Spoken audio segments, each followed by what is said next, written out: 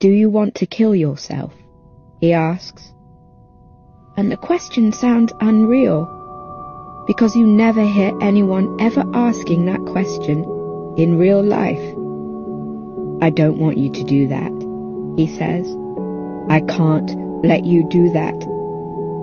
You can't leave me here alone. His voice breaks.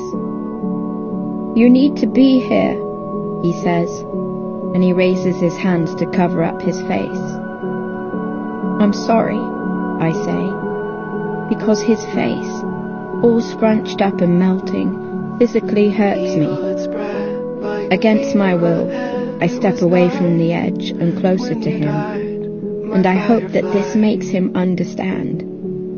I'm sorry. I'm sorry, I'm sorry, I'm sorry. I pause, suddenly understanding everything.